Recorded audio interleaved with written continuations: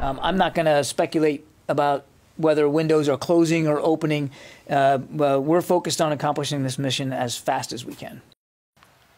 Number three, once screened and cleared, we will welcome these Afghans who helped us in the war effort over the last 20 years to their new home in the United States of America. Because that's who we are. That's what America is.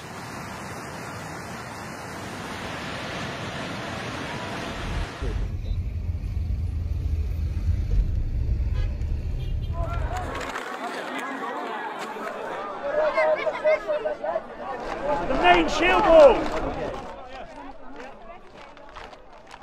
The US or the UK wanted to extend the 31st of August deadline in order to continue evacuations out of the country. Would you agree to that? No, no.